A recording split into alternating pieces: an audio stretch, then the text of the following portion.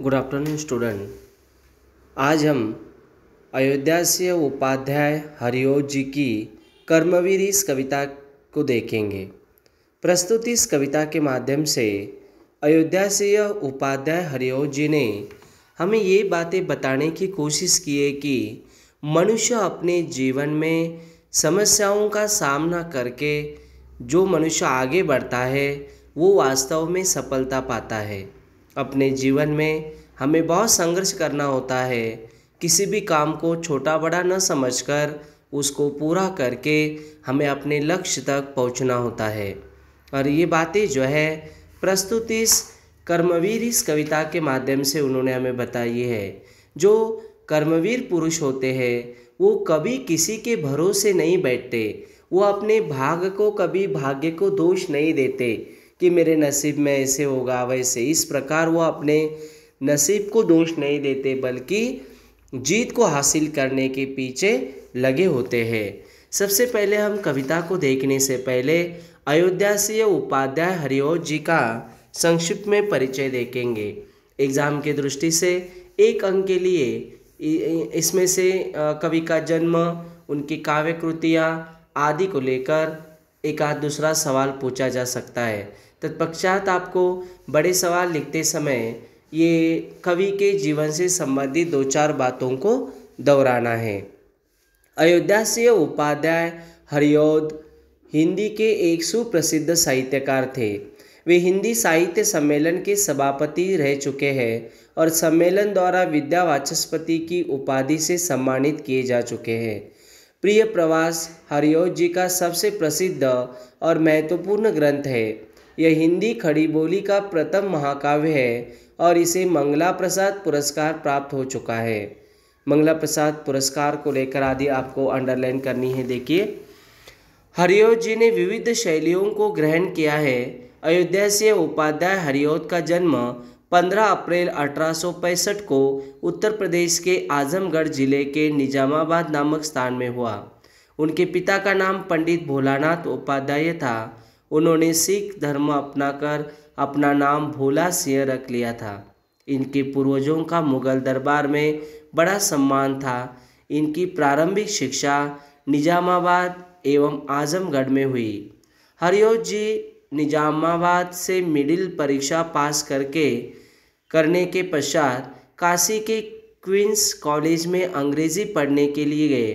किंतु स्वास्थ्य बिगड़ जाने के कारण उन्हें कॉलेज छोड़ना पड़ा उन्होंने घर पर ही रहकर संस्कृत, उर्दू, फारसी और अंग्रेज़ी आदि का अध्ययन किया और अठारह सौ चौरासी में निजामाबाद के मिडिल स्कूल में अध्यापक हो गए। इसी पद पर कार्य करते हुए उन, कार्य करते हुए उन्होंने नॉर्मल परीक्षा प्रथम श्रेणी में उत्तीर्ण की। इनका विवाह आनंद कुमारी के साथ आनंदी होना चाहिए। देखिए इधर, विवाह आनंदी कुमारी के साथ संपन्न हुआ। सन अठारह नवासी नवासी में हरिओज जी को सरकारी नौकरी मिल गई। वे कानूनगो हो गए।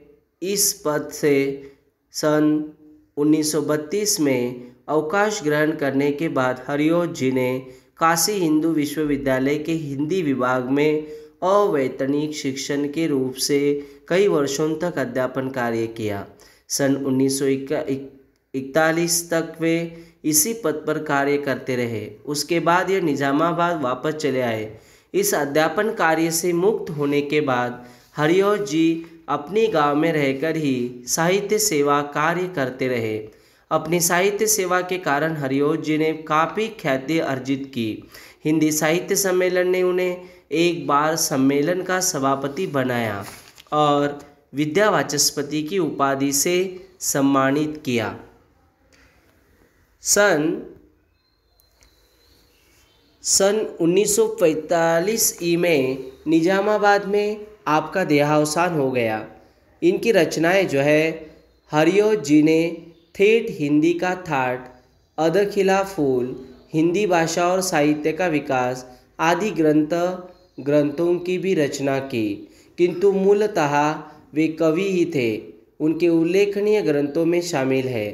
प्रिय प्रवास, वैदेही, वनवास, पारिजात रस कलश चुपते चौपदे, चौके चौपदे ठेठ हिंदी का थाट अधखिला फूल, रुक्मिणी परिणय हिंदी भाषा और साहित्य का विकास। हरिओत जी के काव्य में प्रायः संपूर्ण रस पाए जाते हैं। करुण रस, वियोग रस, श्रृंगार और वात्सल्य। रसों की पूर्ण रूप से व्यंजना हरिओत जी की छंद योजना में पर्याप्त विविधता मिलती है। आरंभ में उन्होंने हिंदी के प्राचीन छंद कविता, सवैया छप्पय दोहा आदि तथा उर्दू के छंदों का प्रयोग किया। बाद में उन्होंने इंद्रवर्जा, शिखरिणी, मालिनी वसंत तिलका, शार्दुल विक्रीडित, मंदा क्रांता आदि संस्कृत के छंदों को भी अपनाया। ये कवि जो होते हैं, ये कविता में छंद, अलंकार आदि की, आदि का प्रयोग इसलिए करते हैं क्योंकि उससे कविता का, कविता की सुंदरता बढ़ती है। जिस प्रकार एक दुल्हन सच दच कर साज श्रृंगार करती है, उसी प्रकार ये छंद और अलंकार कविता को सुंदर बना देते हैं और हमें पढ़ने में बहुत बहुत रुचि लगने लगती है। अलंकार रीतिकालीन प्रभाव के कारण हरिओत जी अलंकार प्रिय है, किंतु उनकी कविता कामिनी अलंकारों से बोझिल नहीं है। उनकी कविता में जो भी अलंकार है, वे सहज रूप में आ गए हैं और रस की अभिव्यक्ति में सहायक सिद्ध हुए हैं।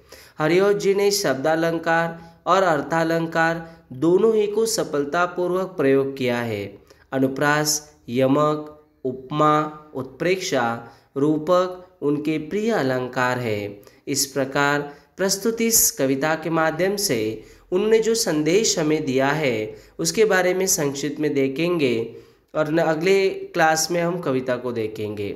काव्य सार इस प्रकार है, देखिए, प्रस्तुत कविता में कवि का कहना है कि कर्मवीर वही कहलाता है, जो अनेक बाधाओं को सामने देखकर भी घबराता नहीं, और कितना भी कठिन कार्य हो उगताता नहीं, कोई भी कार्य आरंभ करके बीच में उसे छोड़ता नहीं। ये पर्वतों को काटकर भी सड़कें बना देते हैं तो मरुभूमि में भी नदियाँ बहा देते हैं। ऐसे लोग जब कभी जन्म लेंगे, तभी देश एवं समाज की भलाई हो सकेगी। कविता की पंक्तियाँ कर्म करने की प्रेरणा देती है और निरंतर अपने कार्य में लगकर उसे पूर्ण करने का संदेश हमें देती है। ये कवि सचिदान कवि ने जो बताया है ये अयोध्या से उपाध्याय हरिओज जी ने हरिओज जी जिस प्रकार बताते हैं कि मनुष्य को अपना कर्म जो है, वो साहस से करना चाहिए। को, और हर एक काम, ये कर्मवीर जो होते हैं, वो कभी बहाना नहीं बनाते, वो कायरता नहीं दिखाते, वो खुद भी कठिन से कठिन कार्य को पूरा करते हैं और दूसरों से भी उसी प्रकार की आस रखते हैं।